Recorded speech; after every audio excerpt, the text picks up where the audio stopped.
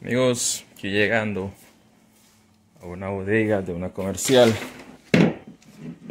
Vamos a revisar esta Mavi, la cual está nuevita, amigos. Observen ahí, ya no era esta nueva, pero que nada no funciona, no Pues aproximadamente tiene como media hora de estar conectada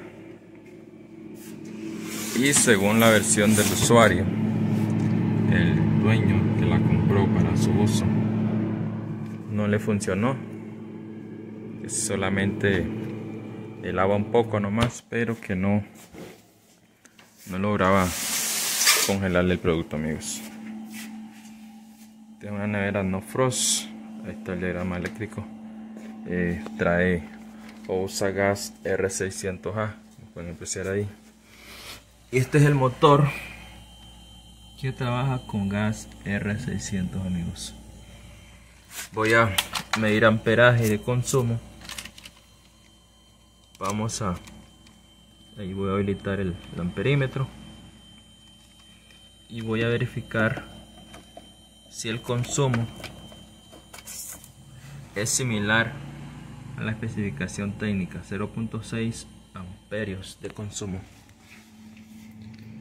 si nos vamos al diagrama, pues aquí no dice nada. Solamente el diagrama eléctrico de cómo va conectado. Aquí lo mire.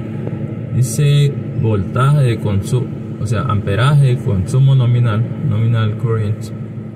Dice 1.10 amperios, amigos. Ahí está.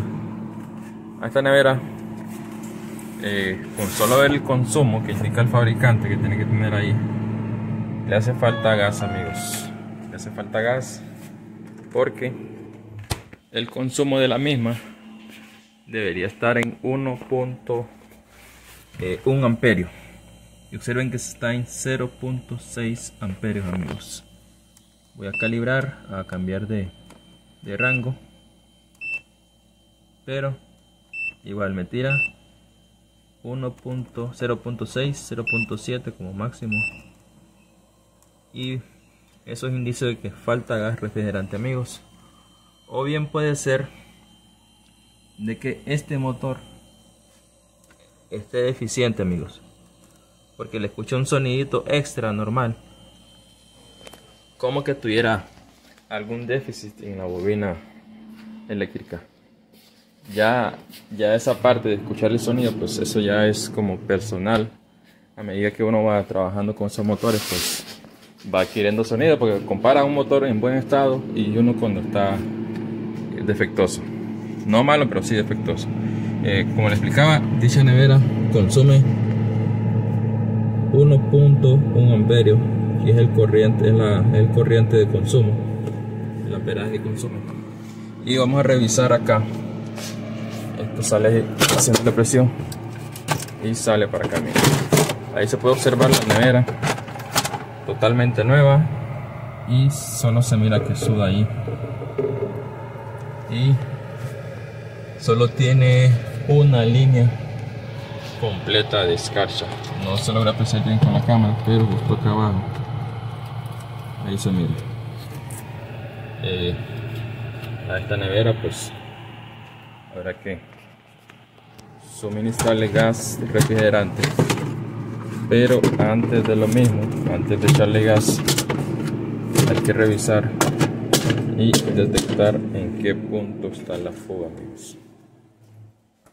Observen ahí dicha nevera está nueva totalmente nueva pero no congela al 100 amigos.